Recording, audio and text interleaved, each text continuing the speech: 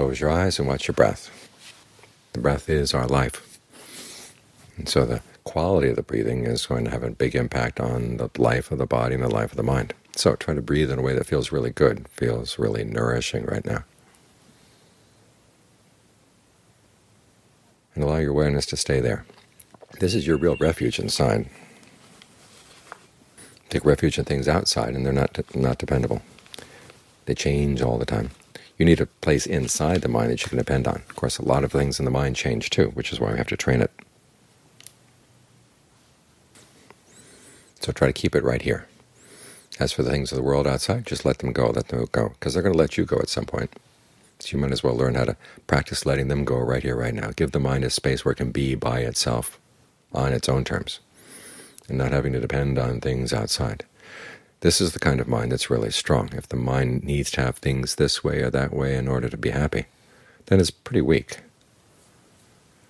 It spends all of its time arranging conditions to be just right, and spend so much energy on that, and there's not much energy left for itself. And of course the conditions keep changing. What you want is a mind that can put up with any conditions.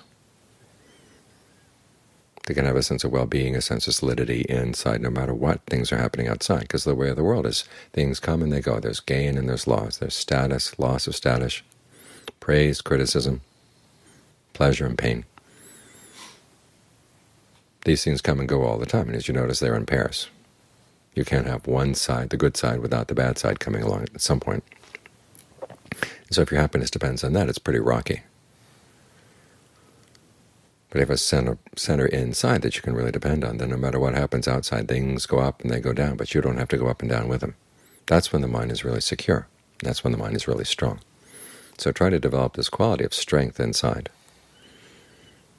requires a good foundation, which is why we stay with the breath. As long as you're alive, you've got this breath right here to watch. And even when the breath stops, okay, you'll still have your awareness. It's learned that you've trained to be centered right here instead of scattering it out in all directions. That's something you really depend on. So try to develop this centered awareness right here, right now, because it's going to see you through a lot of difficulties and make them not difficult. In other words, as long as the mind isn't put to hardship, then the things of the world can change as they like, but the mind doesn't have to be afraid of them because its happiness isn't invested there.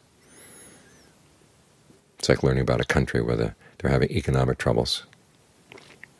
If you have money invested in that country, you're going to be reading every report that comes in. And your state of mind is going to go up and down with the reports. But if you have no money invested there or anything connected with it, then you can read the reports, and that's just another part of the world. So you see it, that the difference is the amount of you're invested in things. So try to invest as much as you can in your own mind, because that's an investment that really pays off. That's something that's really, really you can depend on.